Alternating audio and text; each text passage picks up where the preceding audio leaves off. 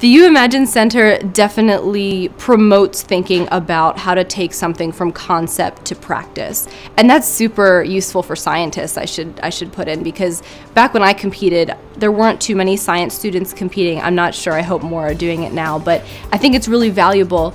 Um, competing in the UImagine Center's competition really forced me to think about not just why something was a good idea and how it would be great if we had it, but also um, it, it, made me think about what a, a, realistic timeline for things would be for implementation, how much money something would cost. That's something that we don't think about, especially when as an academic, someone is funneling you grant money and you don't really keep track of money. So that was really interesting, as well as thinking about what sorts of individuals are required to make a successful team for something that's interdisciplinary and something that's going to go out into the real world, which requires all sorts of talents and skills.